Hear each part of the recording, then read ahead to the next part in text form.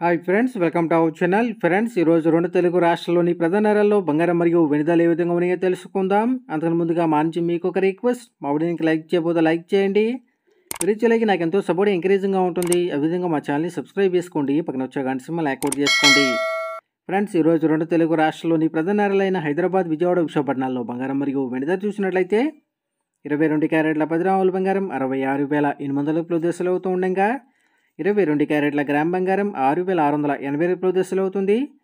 అలాగే ఇరవై నాలుగు క్యారెట్ల స్వచ్ఛమైన పది రాముల బంగారం డెబ్బై రెండు వేల ఎనిమిది వందల డెబ్బై రూపాయలు దశలు అవుతూ ఉండగా ఇరవై నాలుగు క్యారెట్ల గ్రామ్ బంగారం ఏడు వేల రెండు వందల ఎనభై ఏడు రూపాయలు దశలు అవుతుంది.